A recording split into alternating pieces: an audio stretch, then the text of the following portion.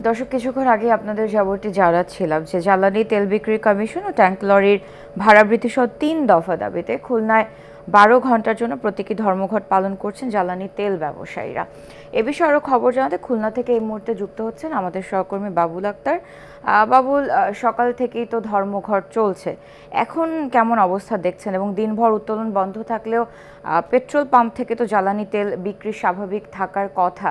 তো বিক্রি স্বাভাবিক রয়েছে কিনা? আপনার কাছে সবশেষ কী তথ্য রয়েছে? জি সারা আপনাকে ধন্যবাদ। সারা এই মুহূর্তে আমি রয়েছি খুলনা কাশীপুরস্থ যে পেট্রোল পাম্প ডিপোগুলো রয়েছে সেখানে। আমি নেতাদের সাথে কথা বলেছি। তারা যে বিষয়টা জানিয়েছেন যে দীর্ঘদিন ধরেই কিন্তু দফায় দফায় জ্বালানি তেলের দাম বাড়ছে এবং সেই তুলনায় কিন্তু তাদের যে ট্যাঙ্কলির ভাড়া রয়েছে এবং যে কমিশন রয়েছে তেল বিক্রি করার জন্য বিশেষ করে পেট্রোল পাম্পের যে মালিকটা তারা যে তেল বিক্রি করে সেখানে সরকারিভাবে তাদের ইয়ে, কমিশন দেওয়া হয়। সেই কমিশন কিন্তু তাদের বাড়েনি। যেটা তাদের দীর্ঘদিন দাবি তা সেই সর্বশেষ যে পরিস্থিতি সেটা হচ্ছে তিন দফা দাবিতে এই পেট্রোল পাম্প পাম্পের যে মালিকরা রয়েছে এবং ট্যাঙ্কলরির যে মালিকরা রয়েছে, তারা কিন্তু ধর্মঘট পালন করছে। সেখানে কিন্তু তারা গতকালকেই এই ধর্মঘটের ডাক দিয়েছে এবং বিশেষ করে ভোর ছয়টা থেকে তারা এই ট্যাঙ্ক লরিগুলো বন্ধ রেখেছে এবং জ্বালানি তেল সম্পূর্ণগুলো ডিপো থেকে নেওয়া তারা বন্ধ রেখেছে।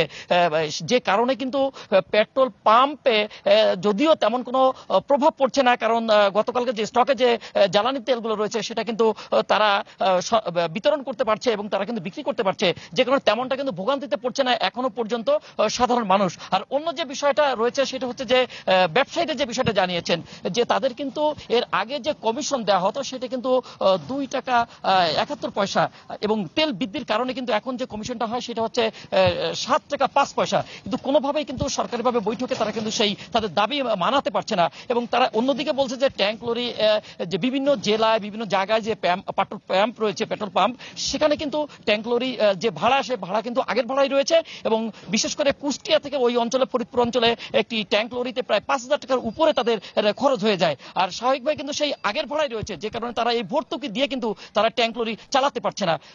সারা এই ছিল আমার কাছে খুলনা থেকে জ্বালানি তেলের ধর্মঘটের সর্বশেষ খবর। বাবুল, আপনাকে অসংখ্য ধন্যবাদ।